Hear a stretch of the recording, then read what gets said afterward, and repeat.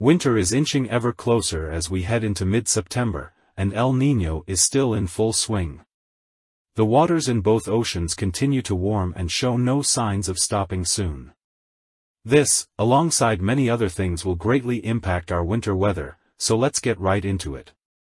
Firstly, here is a map of the average snowfall totals during an El Niño winter between the years 1950 and 2009. There is a fairly high correlation between an El Niño and above-average snowfall across the southern United States, and below-average snowfall across the north. Specifically, the mountains of the west and the mid-Atlantic see high snowfall totals, while the northwest, Great Lakes, and lake effect regions see much less. This should be kept in mind as we head further into the graphics. We'll next look at how the models think this winter season may play out, as there's a lot to unpack.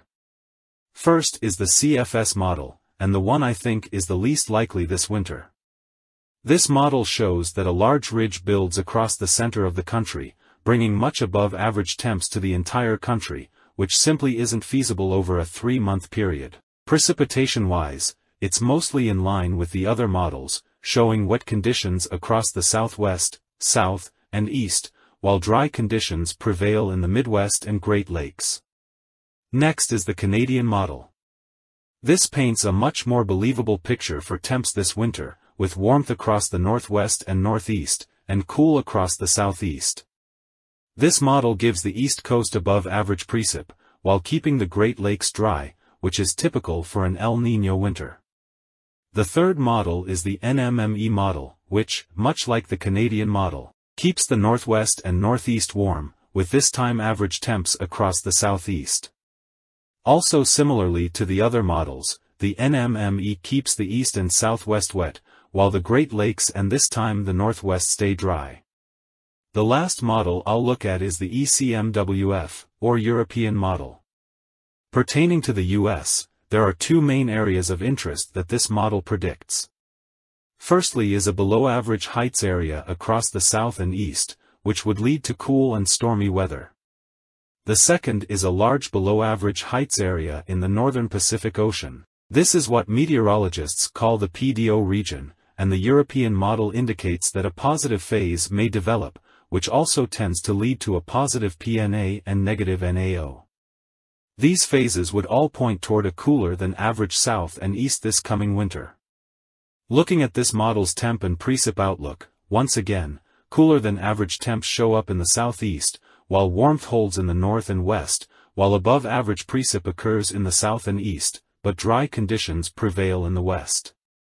Before getting into my personal forecasts, one last thing to note is Arctic oscillation and the polar vortex. The polar vortex is what keeps cold air locked in the north. A strong, Stable vortex leads to contained cold air, while a weak, variable vortex causes cold air to pour southward. Looking again at the European model, this is a graph on how the polar vortex may look this winter. The lower the average line is over the winter months, the greater the chance that cold air pours into the U.S. Pay attention mostly to the thick blue, thick orange, and thick black lines, and you can see that the blue line, or the average expected strength of the polar vortex, drops off significantly from the average during the heart of winter. This is another consideration to make, as the polar vortex may be very active over this winter, leading to many cold snaps. Finally, here are my predictions for this upcoming winter season. Firstly is the temperature outlook, and I believe that much of the south will be considerably cooler than average this year. This area is further west than many of the models predict, as I believe a major Arctic outbreak is possible across the south and may linger there for a long time. In the north, widely warm temps are expected due to a large high pressure expected over Canada. Next is precip, and I expect the south and east to see above average precip, while the Great Lakes and Northwest stay dry. This is due to the polar jet stream staying further north, and the subtropical jet stream being very active. Third, and most exciting, is the snowfall anomaly map. An above-average region stretches from the Sierra Nevada mountains, into the southern plains and southeast, and finally across the Appalachians and into extreme southern New England. With cool temps and an active subtropical jet stream, the potential for big storms is heightened across the southern U.S., especially so in the Red River Basin. Unfortunately for northern snow lovers, below-average snowfall seems to prevail in much of the Northwest and Great Lakes, with much below-average snowfall possible in the lake-effect snow regions. Lastly, here is my updated prediction map for the 2023 to 2024 winter season. Starting in the orange northwest, mild and mostly dry conditions are likely, though some storms are expected. The small flip-flop region in Oregon and California will likely end up near average this winter, though extreme warmth and extreme wet periods are both possible.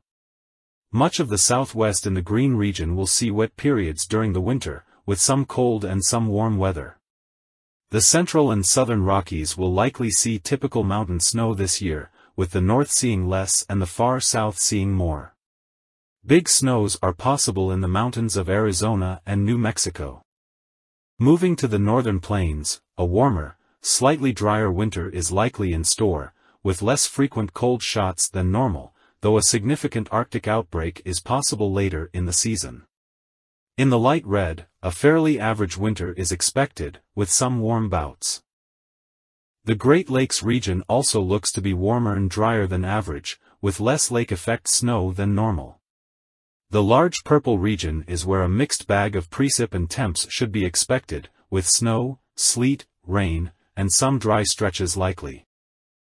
The southern plains look to stay cooler than average with frequent storms. Some wintry precip cannot be ruled out if cold air is readily available. The southeast looks to stay very wet and cool, with an active subtropical jet bringing frequent storms through the area. Southern Florida may get less rain depending on the storm tracks. The red area is where I believe the worst of winter may be. With an active storm track and semi-frequent cold air outbreaks, some large storms may be possible, potentially on the level of the 2010 or 2016 blizzards.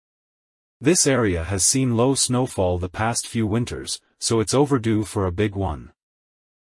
Across the Ohio Valley and interior Northeast, Less snow is likely due to warmer temps and an infrequent storm track. Lastly, some big nor'easters are possible if not likely along the northeast coast this winter. If the storm track sets up properly, some monumental snow totals cannot be ruled out. Thanks for watching.